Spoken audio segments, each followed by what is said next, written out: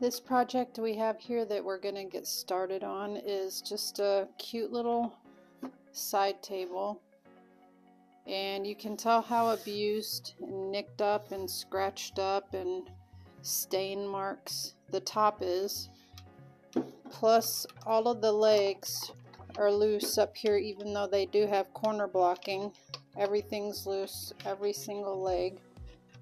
And then on top of that we have cracks in the wood where it's supposed to be mounted to the legs.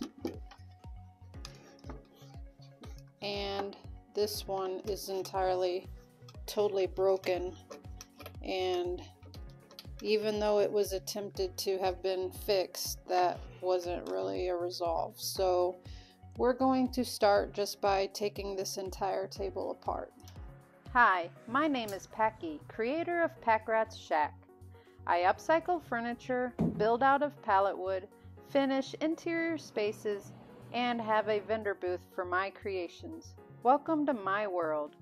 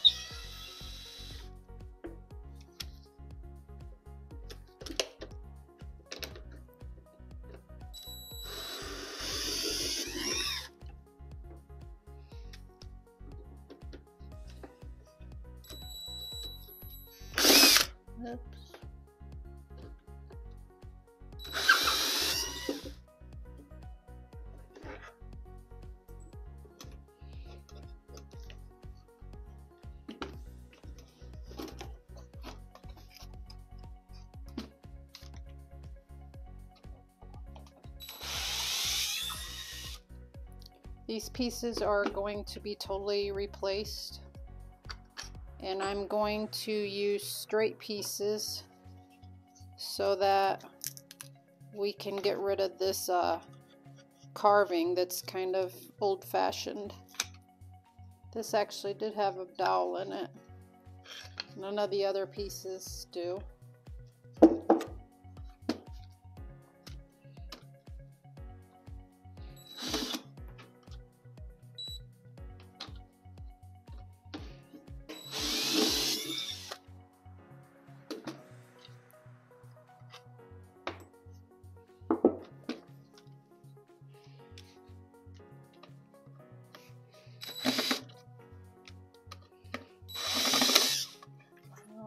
Totally broke that.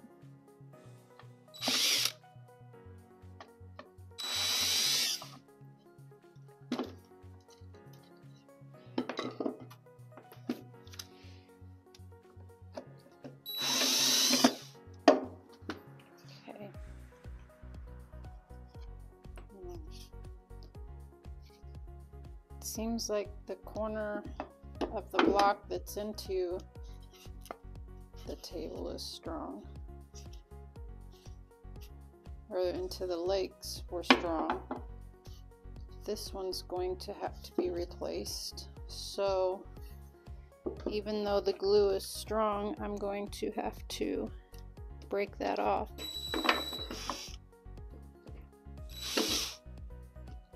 I hate flathead. I hate flathead screws. So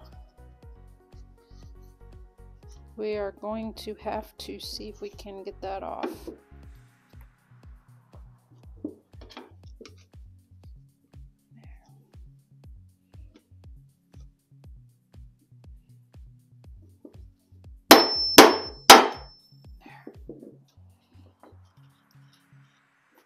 So these are all the pieces that we need to rebuild and go ahead and start cleaning these pieces up.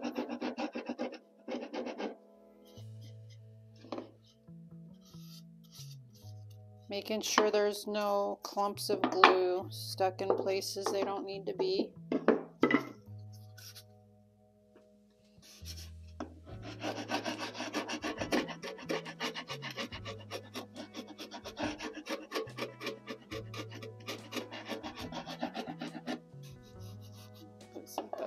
Okay.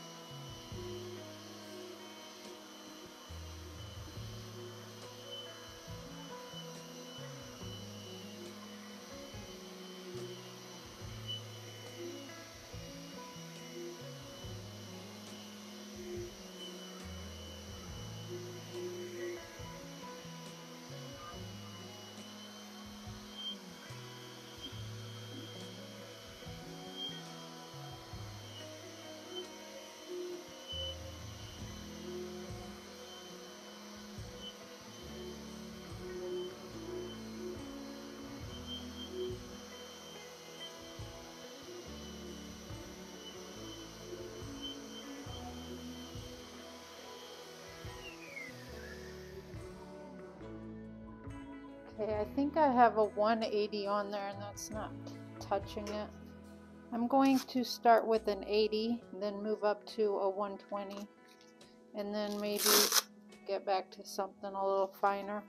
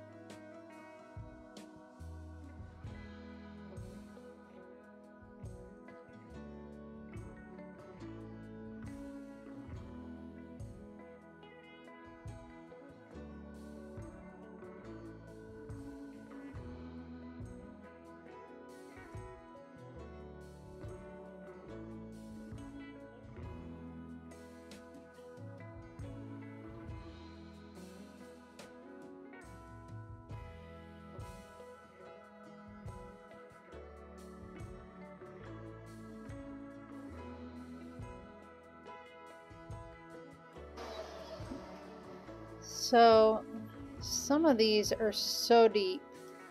It looks like it was hit with some kind of tool or something.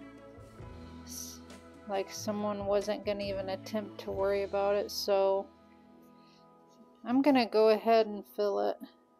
I was going to try to sand this down smooth. This goes right in my eyes, I tell ya. Pushes up my bottom eye into the anyway there's there's no way we're gonna sand down that deep so I'm just gonna go ahead and fill it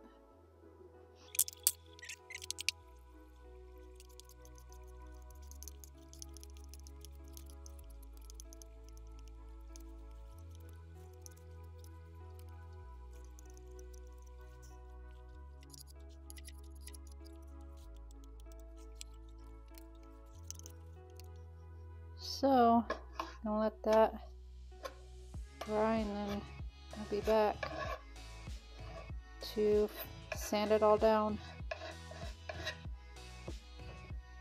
Actually, while this is drying, we're going to go ahead and figure out what we need here, which this one won't be that difficult to figure out.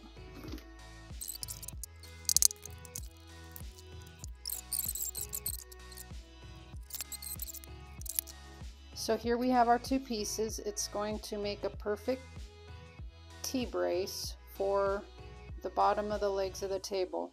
And since we're going to use a Kreg jig and have the uh, screws anchored in correctly, we're not going to worry about drilling holes to put in uh, dowel rod to um, clamp and glue into place.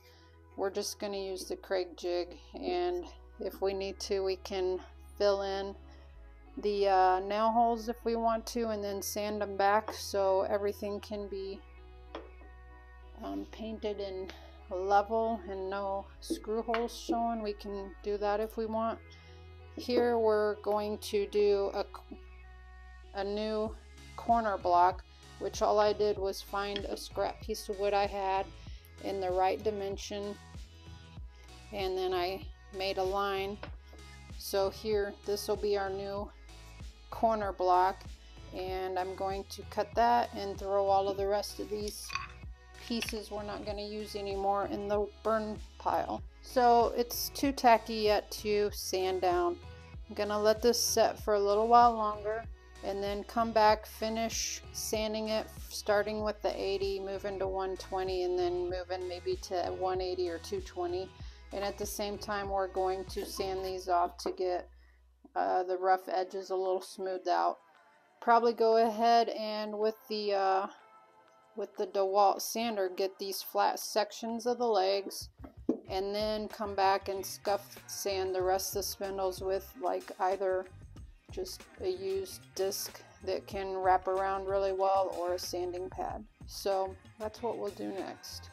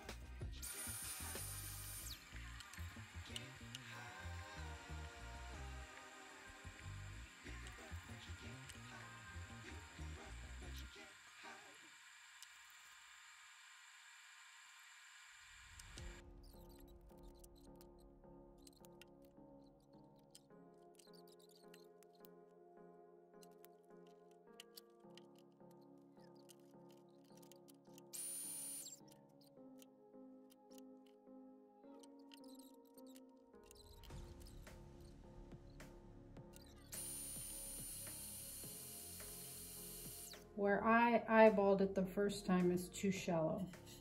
But to put it all the way down to the bottom of the base here just seems way too high. So I think I need to split the difference. So how about we put that under there?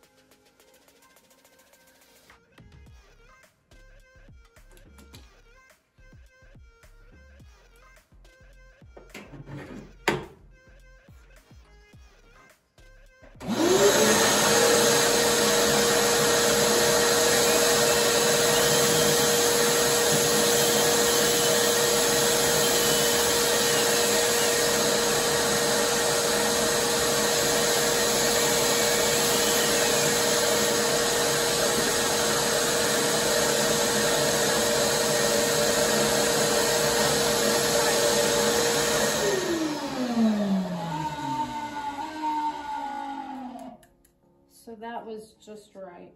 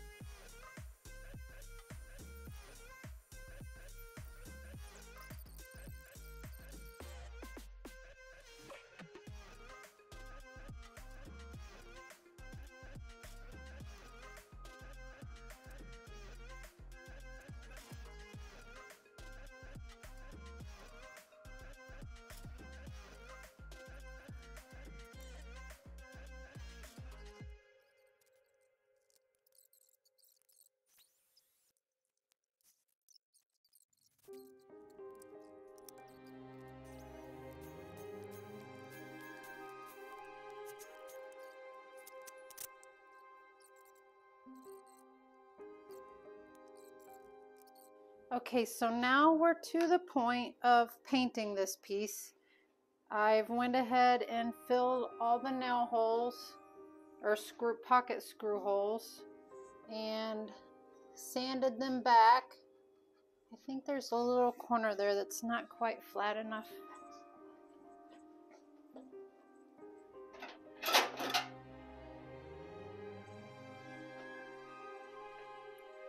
This will get in the corner better than that.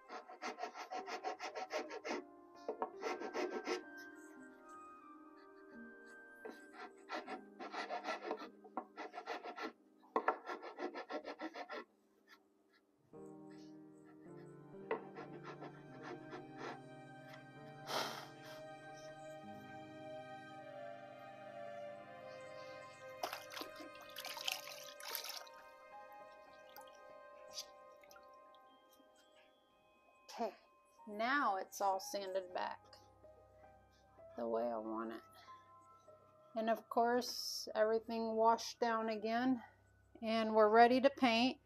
I hope I'm not boring all of you with the fact that I am painting this piece with my Krylon Chalky Finish Tricorn Black. But the reason being is if you watched Sliced episode 1, you'll remember these chairs that I had a friendly competition with my neighbor vendor who I buy my chalk paints from. So if you remember Sliced, you'll re recognize this chair. So there was one lonely chair left after that. We had done two of them and there was a third one. And this uh, harp was all split apart like in layers. There's like five different layers. It all had to be glued and clamped. And I went ahead and I finished it the same as the other chair as far as color orientation because the chairs were bought the day of the episode but they were bought by someone who just wanted to support the cause. They didn't actually want to take them home and keep them, so they donated them back to the store for us to sell again. So I have fabric that matches the colors of the other seat, and I thought that this little table is a perfect size. It would work to be a three piece set. This, the other chair that I did in that episode, and this table. So I'm planning on painting this table black and doing a little bit of gold embellishment to it just so that the pieces all look good together. Even though the seat is slightly different fabric, they match and they combine really, really well. So I'm going to price them all individually. You don't somebody who's interested in a piece or not the whole set, they could buy individual pieces, but I just wanted something to coordinate all together. So if the possibility was that it would make a nice little seating spot. Anyways, that's why I'm going with tricorn black again. So I apologize if I'm boring you with all the black. We're gonna go ahead and get started in the upside down position because that's how I do that.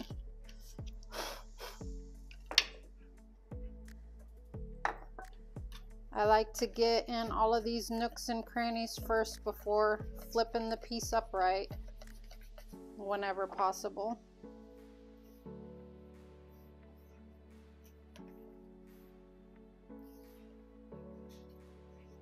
And if you didn't watch Sliced episode one, you might want to. It's kind of funny. There's some fun bits here and there.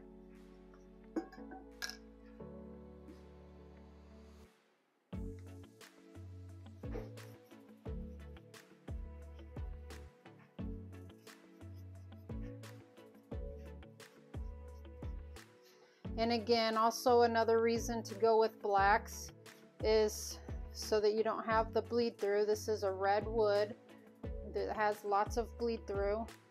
And chalky paints are said you don't have to prime but when you have bleed through that kind of changes the scenario. So you don't need to prime based on stickability but you do need to prime in certain scenarios based on bleed through if that makes sense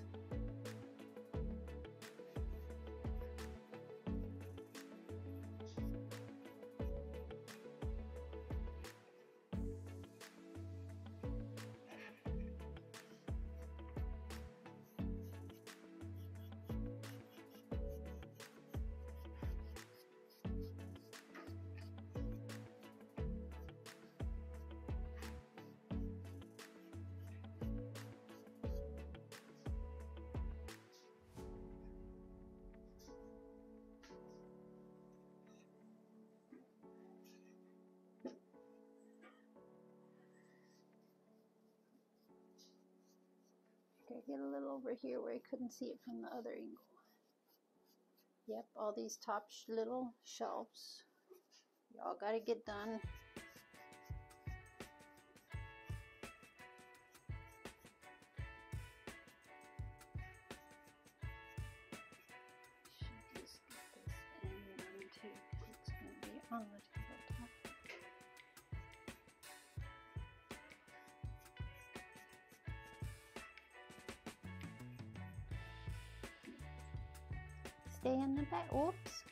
Close.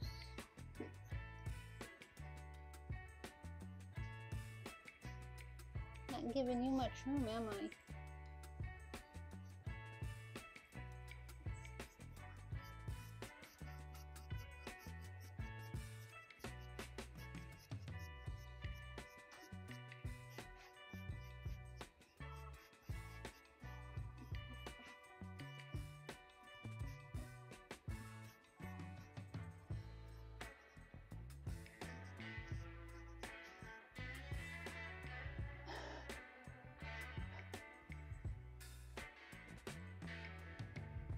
We probably need to find a new place for you before you end up wiping yourself on some wet paint. So far, you've managed to miss the wet spots. Come on, down. There you go. Good girl.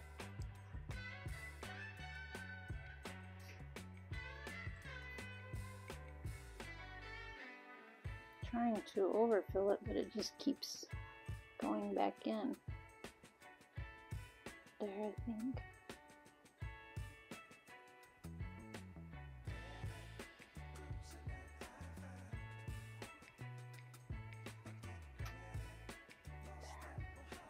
Now I need to see where the other hole was.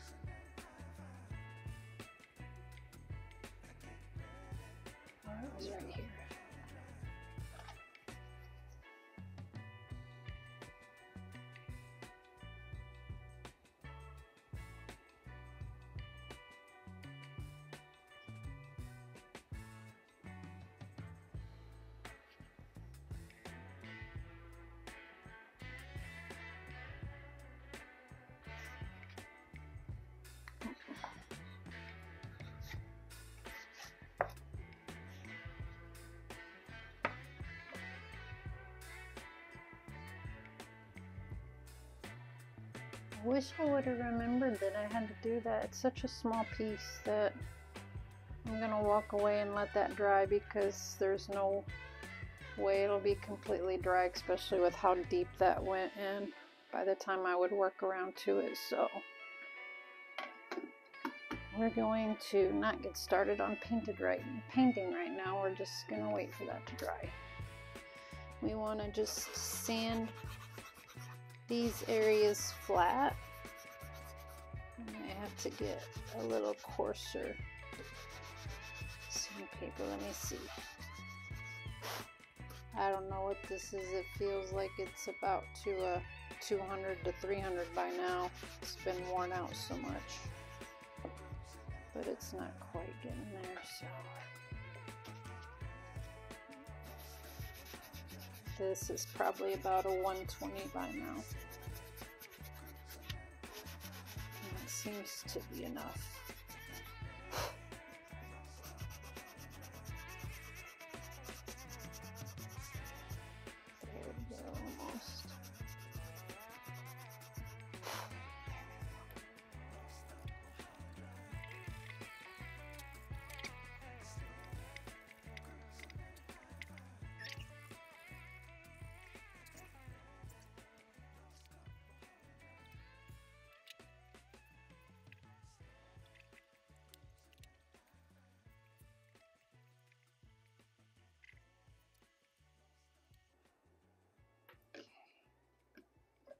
Now it's time to do a second coat.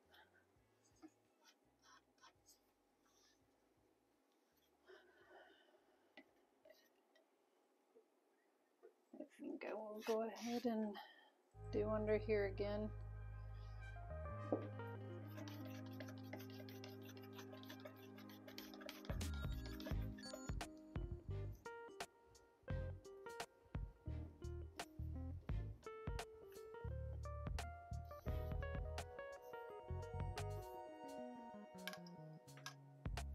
Do a close up so you can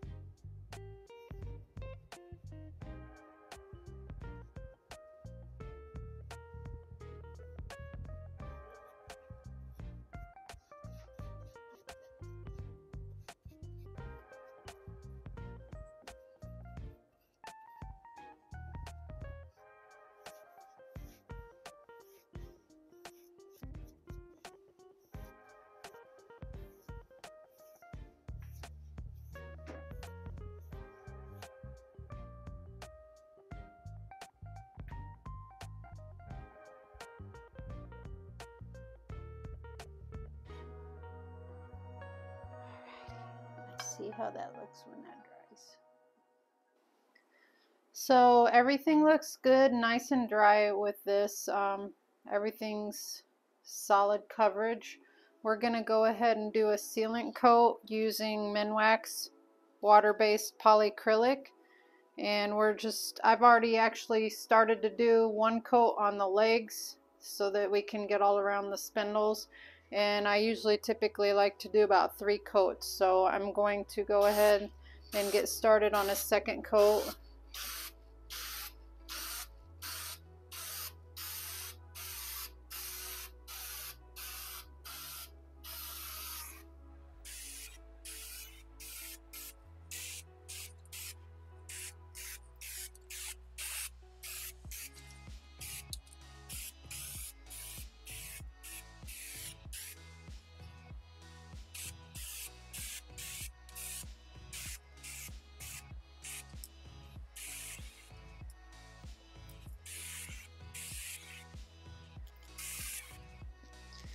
So we'll let that dry and then I'll do a third coat and we'll call that done. And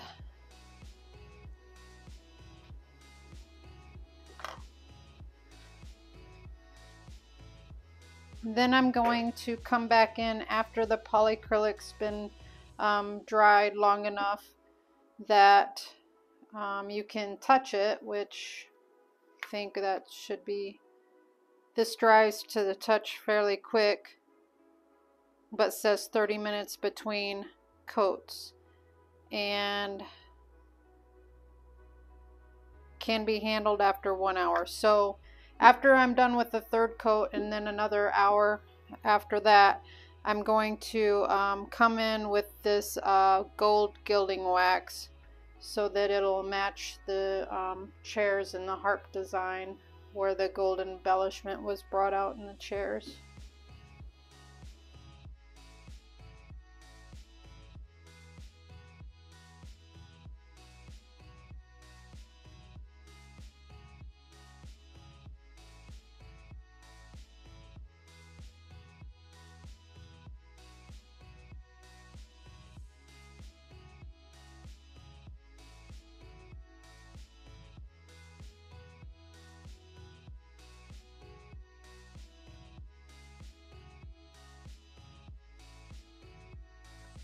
Hi everybody, it's Nova. Thank you guys so much for watching this video.